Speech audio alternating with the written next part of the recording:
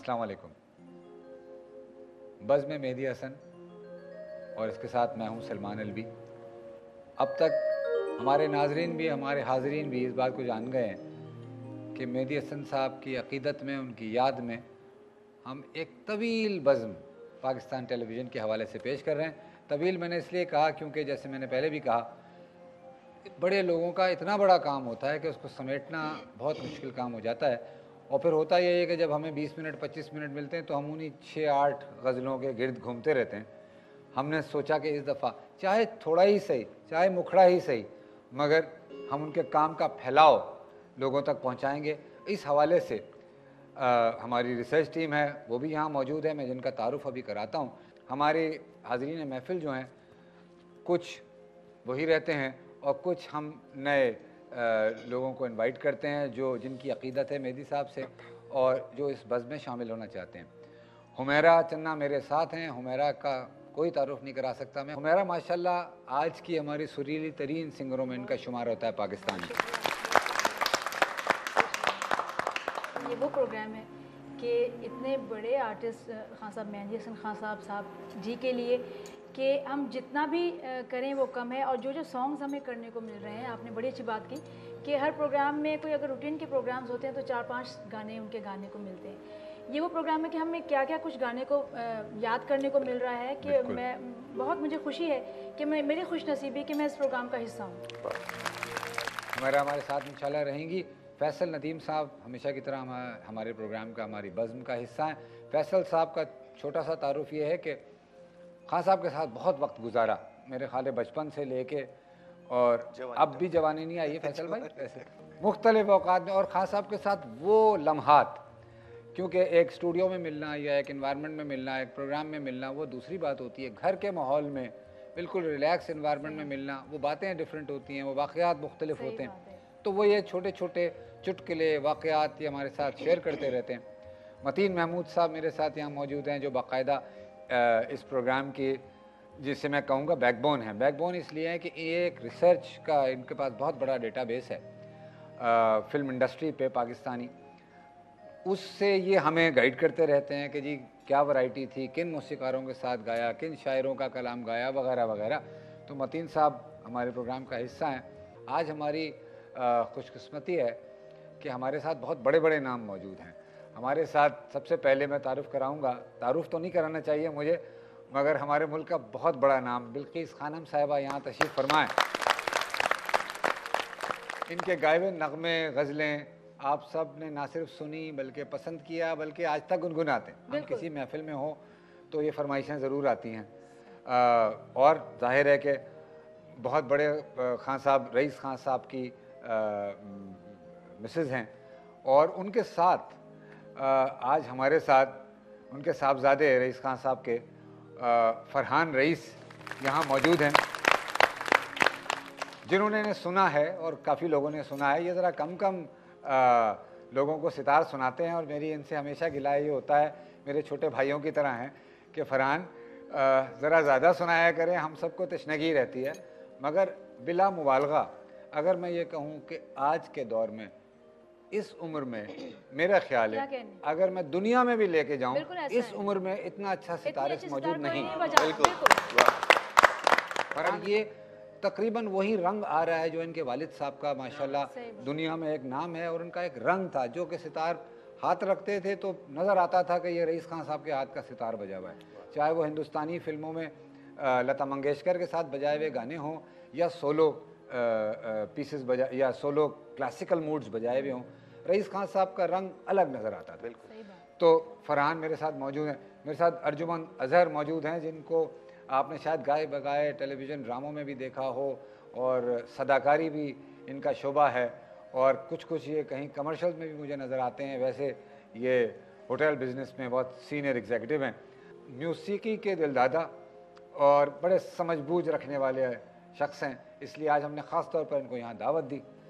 फिर हमारे साथ एक दूसरा फ़ख्र हमारे मुल्क का प्राइड ऑफ़ परफॉर्मेंस सलामत साहब हमारे साथ तशवीर रखते हैं। सलाम हुसैन साहब। बांसुरी बजाते हैं और क्या खूब बजाते हैं। ये वो साज है जो रुलाद भी देता है आपको और जो हैप्पी मूड में भी ले आता है। तो हमारे साथ सलामत साहब तशरीफ़ रखते हैं। बहुत बहुत शुक्रिया सलामत साहब आपकी मौजूदगी का। बात यह है कि आपने गायकी जब शुरू की तो आपके जहन में भी तो कोई होगा ना कि इसको सुन के मैंने गायकी शुरू की आ, या इनको फॉलो किया कोई ऐसे आर्टिस्ट जी बिल्कुल जो आवाज़ें गूंज रही थी उस दौर में वो तो ऑब्वियसली मलका नूर जहाँ जी की लाजवाल आवाज़ खान साहब मेहंदी हसन खान साहब जी की लाजवाल आवाज़ ग़ुलाम अली साहब महनाज जी नाहिद अख्तर ये वो आवाज़ें थी जो मेरे इर्द गिर्द थी। और जहाँ तक एक चीज़ होती है आप फॉलो करना एक चीज़ होती है आपने उसी अंदाज में गाना। मेरा ये रहा कि मैं उन्हें फॉलो ज़रूर किया क्योंकि उन, उन्हें फॉलो करने के बगैर कुछ भी नहीं सही। कुछ नहीं मिलता। सही।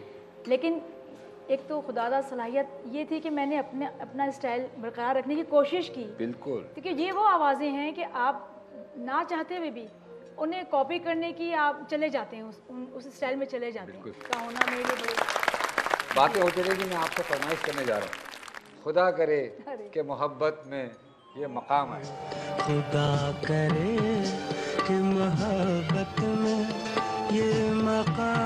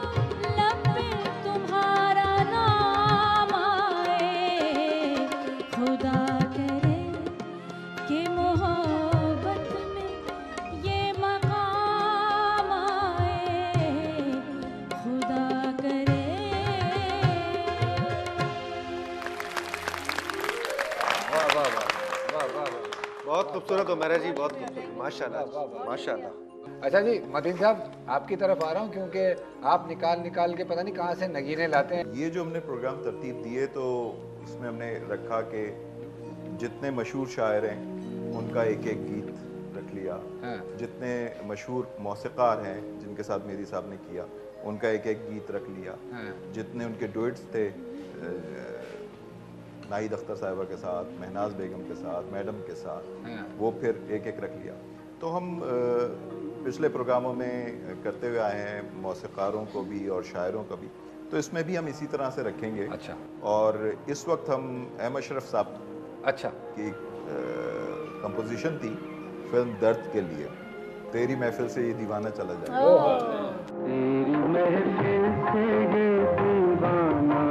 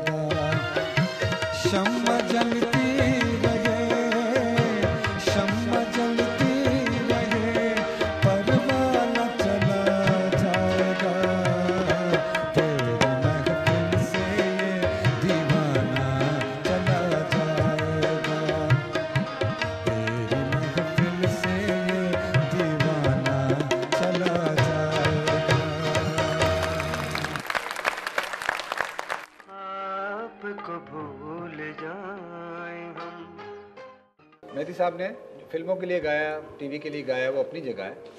मगर महफिल में जब गाते थे तो महफिल की जान होते थे। जी हाँ बिल्कुल वो तो ये तो और महफिली रंग उनका बिल्कुल डिफरेंट है। बिल्कुल डिफरेंट था। और उसमें एक ही गाने को बाज़ दफ़ा उन्होंने फ़िल्म के लिए तो लगा बंधा होता है। मगर महफिल में जब जिसे खुला गायक गायकी कहते हैं महफिल में जब वो खुली गायकी पे आते थे और अगर अच्छी ऑडियंस मिल जाए उन्हें अगर दान मिल जाए तो फिर तो उनके रंग देखने वाले होते थे कि वो कैसी कैसी जगहें और कैसे कैसी एक ही शेर को कितने अंदाज से पलट पलट के कहते थे।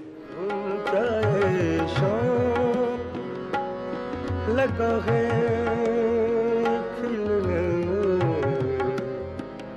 फिर तुझे याद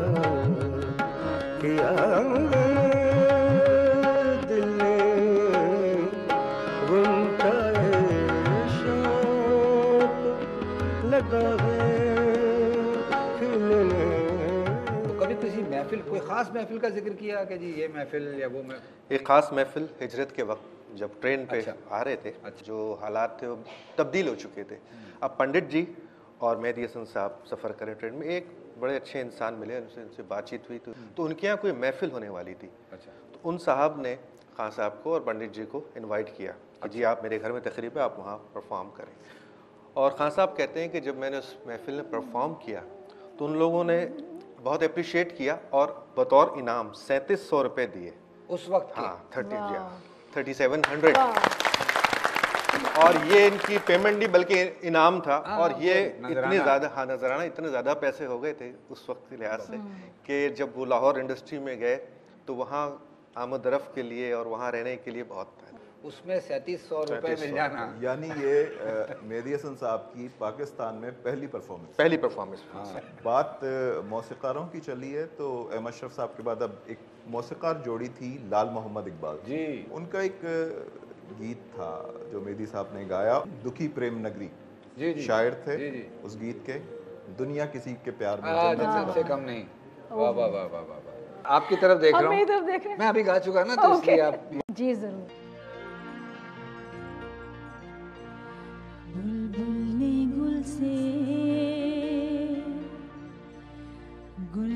बहारों से कह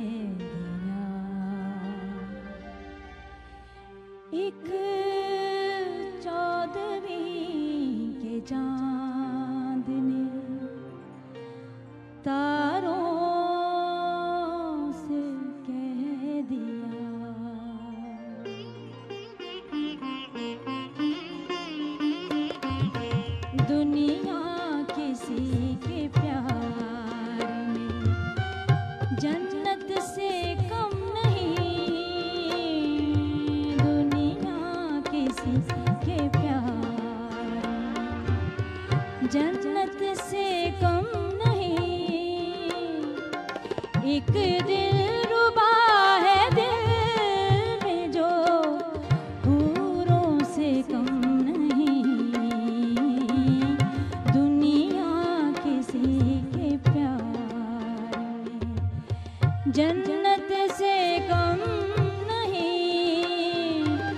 एक दिल रुबा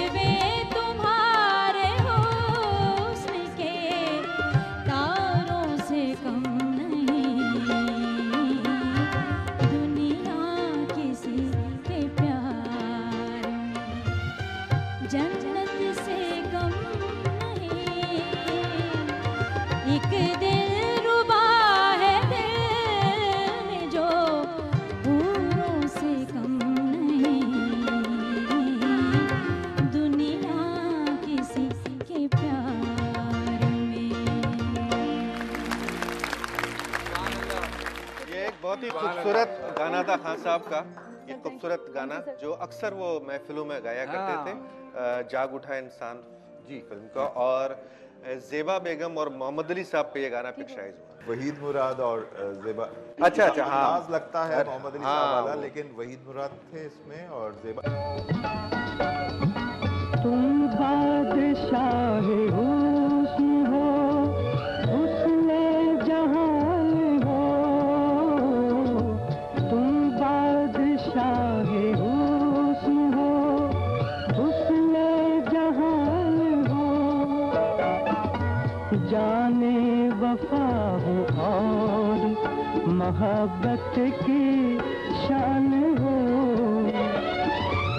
Lưu.